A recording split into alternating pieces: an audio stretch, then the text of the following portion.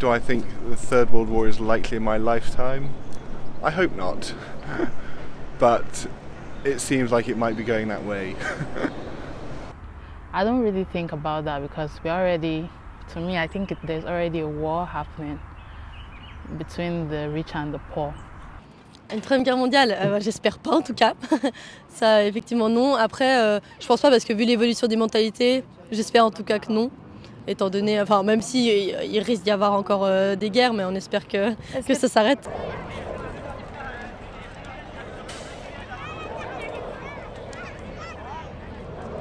I think it's extremely important to have some rules surrounding war and, and who kind of gets in the, the firing line.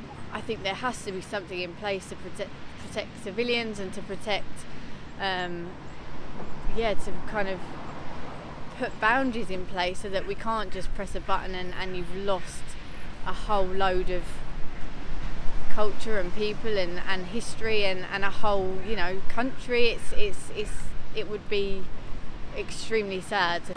برأيي إن هي الأساس هي الأساس القانوني اللازم لحماية الفئات المهمشة والمحمية في زمن النزاعات المسلحة بالأخص على الأقل أنها لن تنتهي النزاع بشكل كامل بل بتخفف من ويلات النزاع. We're the people that's going to be inheriting the world. And as we see this older generation kind of stepping out of power and a new generation coming in, I think we see that these people have different values, they have different morals, and they have a different view of the world. Who knows whether we'll be successful or not, but I think that we are putting the right foot forward.